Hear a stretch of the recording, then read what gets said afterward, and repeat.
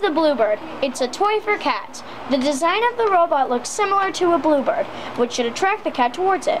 The robot moves away from the animal chasing it.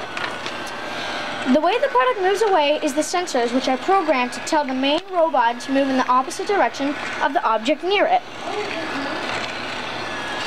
If the cat also catches the robot, the Bluebird has a protective layer so there won't be a scratch on it.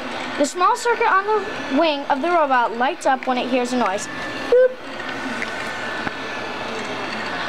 In the circuit, there is a sound trigger, so when there is a noise, the energy transfers to the LED light and lights it up. The Bluebird also comes with a remote, so if you press the button 1, the upper part of the robot turns blue, and if you press the button 2, the lower part of the robot turns orange, just like a real Bluebird. If you want to turn the circuit off, there is an on and off switch, where if you turn it off, the entire circuit turns off. If you want to turn the robot off, hold the center button for a second or press the button 3 on the remote until it shuts off. The Bluebird, a cat's robot.